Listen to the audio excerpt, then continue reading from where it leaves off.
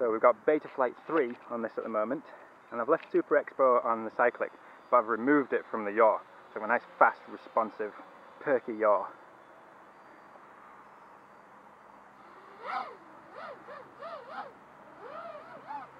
Woo!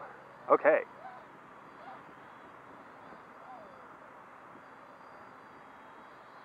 Nice, really nice.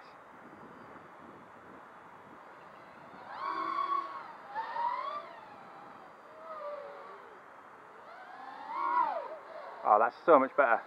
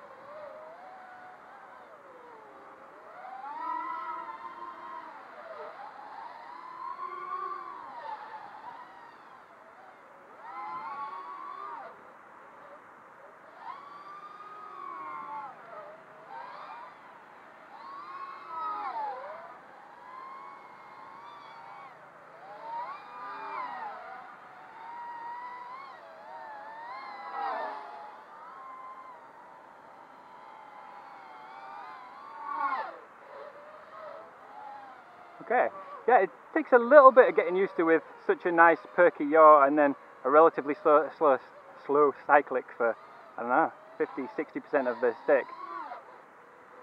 But it's totally flyable and I much prefer that yaw. I'd probably maybe reduce it just a touch or a tiny, tiny bit of expo at the start for, for FPV stuff, but line of sight, I was digging that.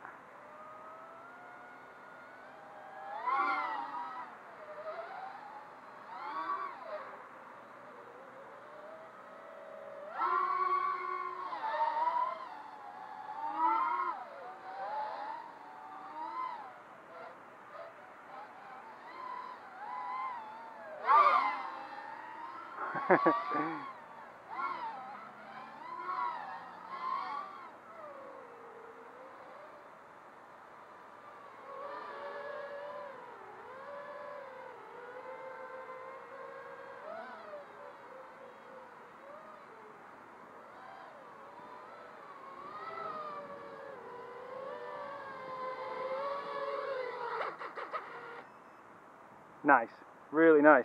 Can't wait to fly some FPV with it. But I think I'm going to change that camera out. And I've also got a beeper on there as well.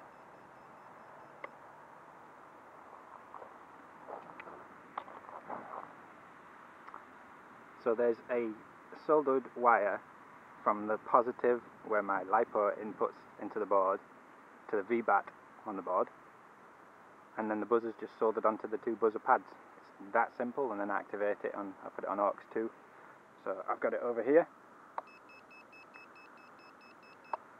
And that's it. The two antennas that were just stuffed inside and the receiver.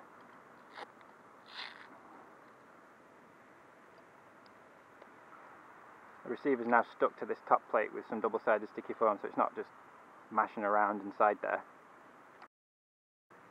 Fed the antennas up here with a cable tie so they stuck out there.